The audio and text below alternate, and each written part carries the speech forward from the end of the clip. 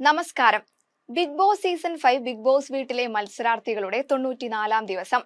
Big Boss season five അവസാനിക്കുവാൻ ആറ് ദിവസങ്ങൾ മാത്രം ബാക്കി നിൽക്കെ അപ്രതീക്ഷിതമായി വീട്ടിൽ നിന്നും ഒരാൾ കൂടി പുറത്തായിരിക്കുകയാണ് നാദിറ മെഹറിൻ.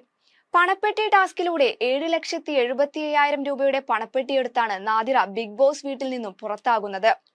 ഫിനാലെ വീക്കുമായി ബന്ധപ്പെട്ട് കഴിഞ്ഞ രണ്ട് ദിവസങ്ങളിലായി ബിഗ് ബോസ് വീട്ടിൽ നടക്കുന്ന പ്രധാന ടാസ്ക് ആയിരുന്നു പണപ്പെട്ടി.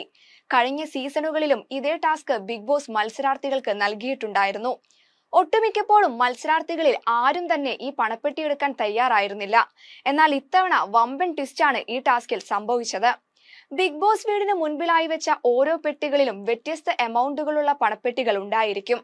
ശേഷം മത്സരാർത്ഥികൾ ഒരുമിച്ച് ഒരു നമ്പർ തിരഞ്ഞെടുക്കുകയും ബിഗ് ബോസ് അയക്കുന്ന വ്യക്തി പെട്ടി തുറക്കുകയും ചെയ്യും. മത്സരാർത്ഥികളിൽ ആരെങ്കിലും ഒരാൾക്ക് താല്പര്യമുണ്ടെങ്കിൽ ആ പണം സ്വീകരിക്കാം.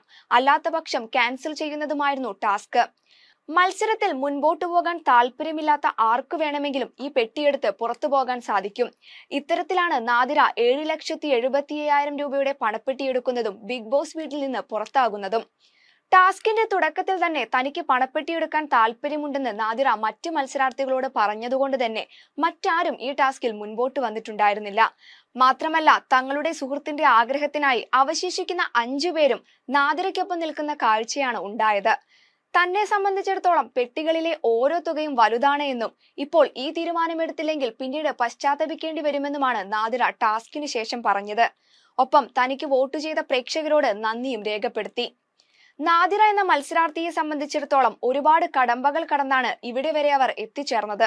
ബിഗ് ബോസ് ഗ്രാൻഡ് ഫിനാലയിലെ കപ്പിനേക്കാൾ പ്രധാനം അവരുടെ തുടർന്നുള്ള ജീവിതം തന്നെയാണ്. അതിനാൽ ഈ തീരുമാനം മികച്ചത് തന്നെയാണ് എന്നാണ് പ്രേക്ഷകരും മത്സരാർത്ഥികളും ഒരുപോലെ പറയുന്നത്.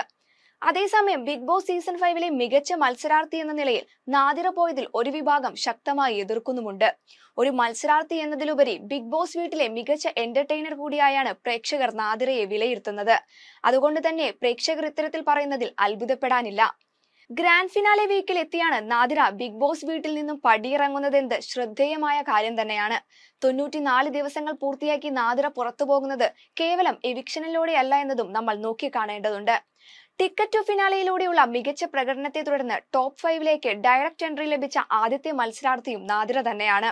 ഇക്കഴിഞ്ഞ ബിഗ് ബോസ് അഞ്ച് സീസണുകളിൽ ചരിത്രം സൃഷ്ടിച്ചുകൊണ്ടാണ് നാദിര മെഹറിൻ ബിഗ് ബോസ് വീട്ടിൽ നിന്ന് പടിയിറങ്ങുന്നത്. ഇനി അവശേഷിക്കുന്നത് വിരലിലെണ്ണാവുന്ന ദിവസങ്ങൾ മാത്രമാണ്.